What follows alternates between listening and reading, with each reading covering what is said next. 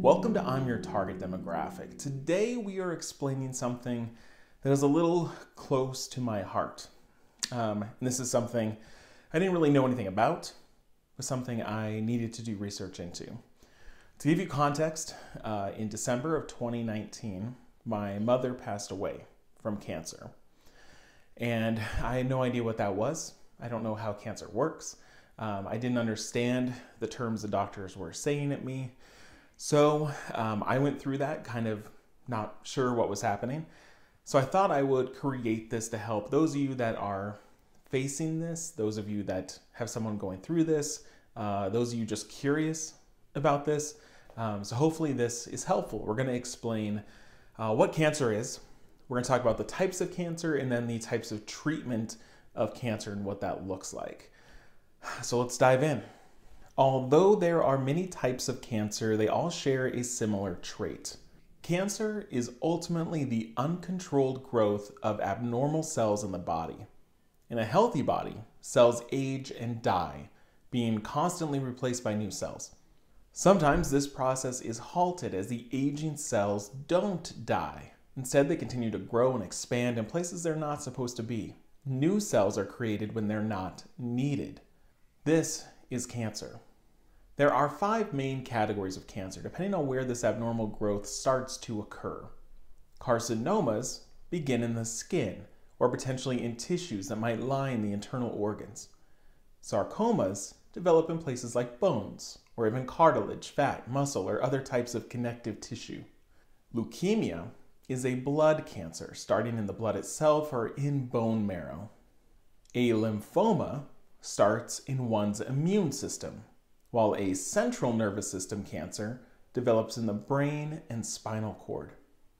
The same thing is happening, this growth and duplication of abnormal cells, but it's called something different based on where the growth is happening. When these cells are being created, it can often create a mass called a tumor. The only type of cancer that doesn't include masses is leukemia in the blood and bone marrow. These tumors that we're talking about are divided into two types malignant and benign. Malignant means that this mass can affect the nearby areas, it's a threat to the organs around it.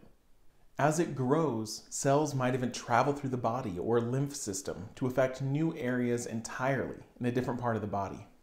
These tumors are threatening and often need more immediate action to stall their progress. The other type of tumor is benign, which means it isn't actively affecting nearby areas. When a benign tumor is removed, that tends to be the end of the story. It likely won't return.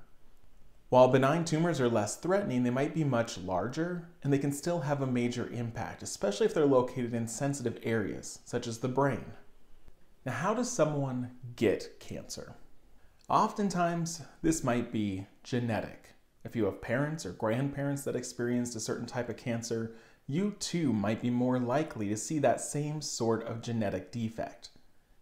There are also external factors, such as the chemicals and tobacco smoke that might trigger lung cancer to develop.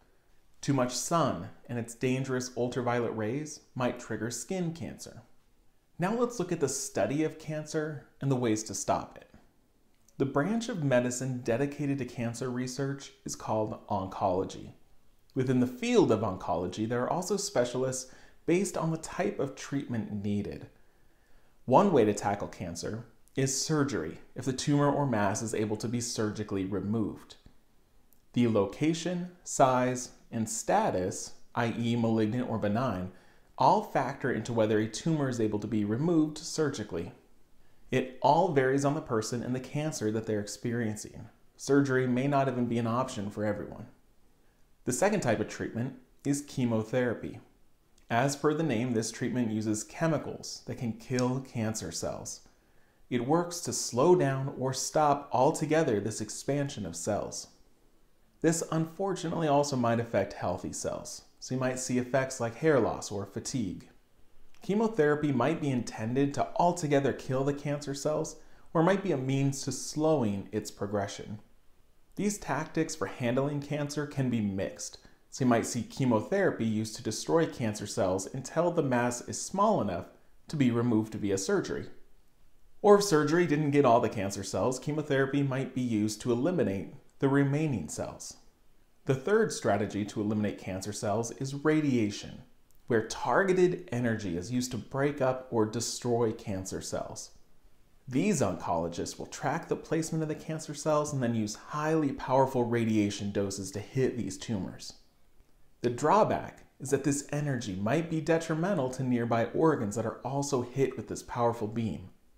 So the placement of the mask can have an impact on the amount of radiation used. Now, if you're interested in donating to help fund cancer research, there are an incredible amount of hospitals and nonprofits doing research in this area.